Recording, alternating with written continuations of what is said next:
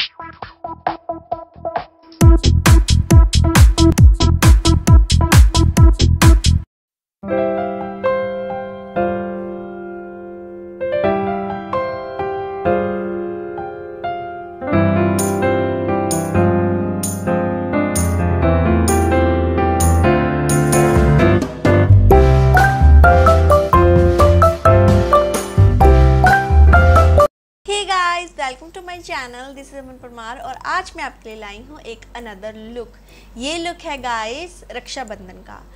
और रक्षाबंधन आने वाला है बहुत जल्दी. और मैं मैं चाहती थी कि मैं रक्षाबंधन पे भी आपके लिए एक वीडियो लाऊं. तो ये लुक मैंने क्रिएट किया है स्पेशली रक्षाबंधन के लिए. आप चाहें तो इसे थोड़ा सा कम तरीके से अपने अकॉर्डिंगली मोल्ड कर सकते हैं। अगर आपको इतना ज़्यादा हैवी आई मेकअप लुक नहीं चाहिए तो उससे आप थोड़ा सा कम कर सकते हैं। लेकिन मुझे ये था कि मैं सभी के लिए करूँ, जो कोई हैवी करना चाहता है तो मैं उनके लिए भी ये लुक करूँ। अगर आप चाहें तो इसे, इनमें से कुछ स्टेप आप मिस भी कर सकते हैं, छोड़ सकते हैं। मैं वॉइस ओवर में आपको बता दूँगी वो वाले स्टेप तो अब हम स्टार्ट करते हैं हमारा look so let's get started okay guys तो सबसे पहले मैं यूज़ करूँगी बायोटिक का। ये था फेस वॉश ये मेरी न्यूली परचेज है सिक्सटी फाइव रुपीज़ का इसका प्राइस है और क्वांटिटी भी काफ़ी अच्छी मिल जाती है और क्वालिटी तो है ही। तो आप यूज़ ट्राई कर सकते हैं इसे सिक्सटी फाइव रुपीज़ में। तो फेस वॉश मैंने कर लिया है बहुत ही अच्छा फेस वॉश है ये। फेस वॉश हमें ज़रूर करना चाहिए मेकअप करने से पहले ताकि हमारा फेस है जो क्लीन हो और हमारा मेकअप उस पर अच्छे तरीके से हमें आ, अपना जादू दिखाए। तो उसके बाद मैं यूज़ करी हूँ, ये है गुड वाइब्स का टोनर टोनर लगाने के बाद ना एक दो मिनट उसे मसाज कीजिए। उसके बाद ही नेक्स्ट प्रोडक्ट हम अप्लाई करेंगे।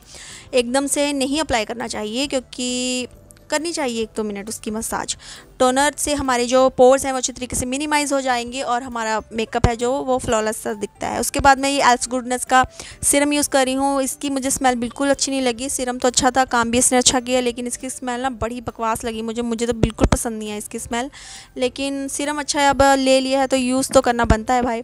उसके बाद ये था मेरा गुड वाइब्स की क्रीम है जो मेरी ऑल टाइम फेवरेट है। और आप देखते हैं कि मैं हर एक वीडियो में इसे यूज़ करती हूँ। एक अच्छा मॉइस्चराइजिंग क्रीम है। इसे मैं अपने फेस को अच्छी तरीके से मॉइस्चराइज़ कर दूँगी ताकि जो मेरा फाउंडेशन है वो केकी ना लगे और अच्छा फ्लॉलेस सा अपना काम करे। और उसके बाद ये मेरी हमेशा हमेशा हमेशा के लिए फेवरेट है जो बायोटिक की लिप बाम है रेड कलर का टिंट छोड़ती है एन वाई एक्स का ये था प्राइमर प्राइमर हमें ज़रूर लगाना चाहिए मेकअप करने से पहले ताकि जो भी हमारे पोर्स होते हैं ना, वो स्मूथ हो जाएँ और जो हमारा मेकअप होता है, जो हमारा फाउंडेशन होता है, वो सिल्की स्मूथ सी हमारी स्किन हो जाए ताकि वो लगने के बाद ना अच्छा इफ़ेक्ट छोड़े और ऑक्सीडाइज होने में भी हेल्प करता है। तो प्राइमर मेक श्योर sure आप अपने मेकअप से पहले ज़रूर लगाएँ ये थे मेरे कॉन्टैक्ट लेंसेज जो मैंने न्यूली परचेज़ किए हैं। इसकी वीडियो भी मेरे चैनल पे ऑलरेडी है जो मुझे पहले डालने नहीं आते थे लेकिन मैं प्रैक्टिस की है मैंने काफ़ी। वन मंथ के लिए ये वैलिड हैं और प्रैक्टिस करने के बाद अब मुझे काफ़ी आसानी से मतलब हो जाता है। लेकिन फिर भी इतना नहीं होता लेकिन हो जाता है। तो मैं बहुत खुश थी क्योंकि आसानी से डल भी गए थे और उतर भी गए थे। फ़र्स्ट टाइम तो इसने मुझे बहुत परेशान किया। और उसके बाद मैं यूज़ कर रही हूँ ये आ, मेरे ब्यूटी ब्लेंडर है, इसका भी रिव्यू मेरे चैनल पे है। इसमें मैंने पानी में डिप करके रख लिया था और उसके बाद उसे मैंने अच्छे तरीके से उसे निकाल के उसका पानी निचोड़ दिया। उसके बाद हम इसे यूज़ करेंगे। फाउंडेशन लगाया है मैंने। डॉट डॉट करके अपने सारे फेस पे लगाया है। एक तरफ़ ही नहीं लगाना चाहिए। डॉट डॉट करके आप अपने सारे फेस पे उसे स्प्रेड कर लीजिए। उसके बाद ब्यूटी ब्लेंडर भी हमें डैप करके यूज़ करनी चाहिए। नीचे की तरफ़ नहीं करनी चाहिए। जहाँ जहाँ भी हमें फाउंडेशन लगाया है मेक श्योर वहाँ पर हम डैप करके लगाएँ। अपने नेक एरिया को भी हमेशा कवर कीजिए, अपने ईयर्स को भी हमेशा कवर कीजिए ताकि वो अलग से ना दिखें। धूप की वजह से गाइज़ मेरे हाथों पे टैनिंग हुई पड़ी है, इसीलिए वो उनका कलर थोड़ा सा डार्क लगता है, लेकिन ऐसा नहीं है, मेरा फेस और हाथों का कलर बिल्कुल सेम है।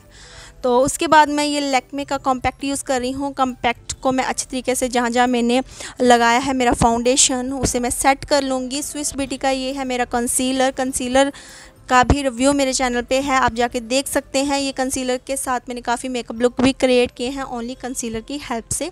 तो कंसीलर लगाने के बाद मैं वही ब्यूटी ब्लेंडर की हेल्प से अपने कंसीलर को ब्लेंड कर लूँगी डैप डैप करके, जहाँ जहाँ मुझे ज़रूरत है अपने हाई पॉइंट्स को हाई दिखाने के लिए। उसके बाद ये लेकमे का कॉम्पैक्ट है, उसे मैं अपने फेस पे लगा लूँगी।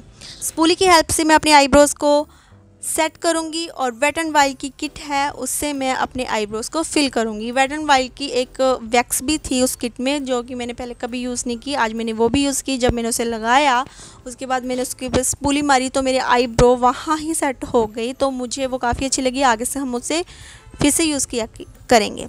ये था सिवाना कलर्स का मेरी कंटोर की पैलेट है। इसमें एक ब्राउन कलर शिमरी ब्राउन है ब्राउज़र है और कंटोर करने के लिए तो जो जहाँ जहाँ मेरे फेस पे एक्स्ट्रा क्या कहेंगे उन एक्स्ट्रा एक्स्ट्रा सामान है उसे कवर करने के लिए मैं कंटोर करूँगी ताकि जो मेरा फेस है वो उसकी शेप बन जाए। आ, अच्छी शेप पतला लगे कहने का मतलब ये था कट कर दें हम अपने फेस को। जो जहाँ जहाँ मुझे ज़रूरत है वो वो ही दिखे तो खाना पीना तो कम कर नहीं सकते ऐसे ही कट कम कर लें तो तो मैंने अपने फेस को कंट्रोल कर लिया। उसके बाद मैं एक छोटा ब्रश लूँगी। छोटे ब्रश की हेल्प से मैं अपने नोज़ को भी अच्छे तरीके से कंट्रोल कर लूँगी उसी पैलेट से सिवाना कलर की पैलेट से। तो छोटे ब्रश से मैंने अपने नोज़ को भी कंट्रोल किया है। आ, आप सोच रहे होंगे कहाँ गायब हो गई थी ये पाँच दिन हो गए वीडियो नहीं लाई तो सॉरी गाइस तो थोड़ा सा मुझे कोई पर्सनल काम पड़ गया था। और तो उसे निपटाने के बाद हम फिर से आएँगे। एक्चुअली मैंने वीडियो को एडिट करके भी रख लिया था बस वॉइस ओवर करना रहता था। बस, मुझे भी बहुत टाइम से चुल मच रही थी कि क्या यार, मैं क्यों नहीं डाली, क्यों नहीं डाली? तो आज तो बस मुझसे रहा नहीं गया। तो ये पहले से बना रखी है मैंने। तो फिर बना रखी है तो डालनी भी चाहिए ना, इतने टाइम से पड़ी हुई है मेरे पास।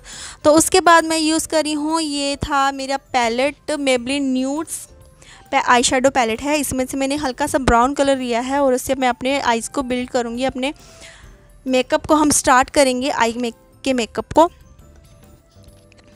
ये थी आ, मेरी पैलेट है जो आपने पहले भी मेरे काफ़ी मेकअप लुक में देखी है। इसमें बहुत ही ज़्यादा ट्वेंटी थ्री कलर्स हैं।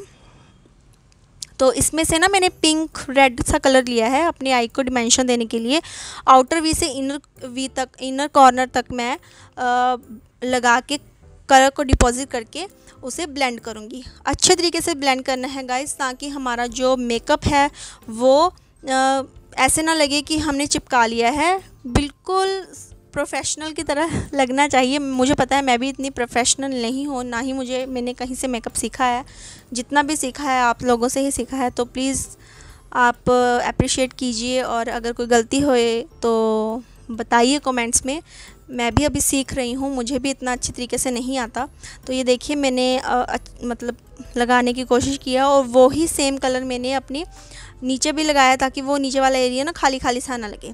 तो सारे कलर को हम अच्छे तरीके से ना भाई अच्छा तरीका बहुत बोलते हैं यार, इसके लगाने के बाद ब्लेंड करिए। ब्लेंड ब्लेंड ब्लेंड ब्लेंडिंग चाहे फेस की है, चाहे आइज़ की है, बहुत इंपॉर्टेंट होती है। ब्लेंडिंग से ही आपका जो मेकअप है वो उभर के आता है।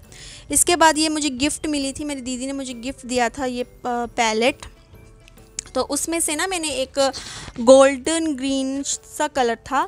वो मैंने अपनी सेंटर आईलिड पे प्लेस किया था ताकि मुझे लग रहा था जो मैं नेक्स्ट कलर यूज़ करूँगी ना वो ब्लू वाला तो वो मेरी ऊपर वाली आई पे चिकअप चिकअप नहीं, चिपक ना जाए। हिंदी बोलनी मुश्किल हो जाती है मुझे। चिपक ना जाए तो इसकी, इसी के लिए ना मैंने ये कलर वहाँ पे बिल्ड किया था। उसके बाद ये स्विस ब्यूटी का काजल प्लस आईलाइनर ही कहूँगी मैं तो इसे। मैंने ये लगाया, इतना मस्त था ना गाइज़ ये रीज़नेबल प्राइस में आपको मिल जाता है। और इतनी अच्छी पिगमेंटेशन है इसकी वन स्वाइप में आपको बहुत अच्छा कलर देगा, वही कलर देगा जो इसके ऊपर, इसकी आउटर बॉडी पे लगा हुआ है। तो मैंने सिंपल सा रफली सा एक विंग क्रिएट किया। विंग नहीं, बस आईलाइनर ही लगाया। विंग मैंने आपको देखेगा नेक्स्ट किससे मैंने क्रिएट किया है, ये है पैक का आईलाइनर इसका गाइस जो आगे था ना वो ब्रश नहीं था वो एक ना व्हील बना हुआ था व्हील की तरह वो राउंड uh, राउंड होता था जिससे ना विंग बॉडी ही आसानी से क्रिएट हो रहा था। तो अच्छा लगा ये मुझे गिफ्ट मिला था। आई थिंक सो नाइका से ना मैंने पैक का सामान परचेज़ किया तो तो ये वाला ना मुझे गिफ्ट मिला था।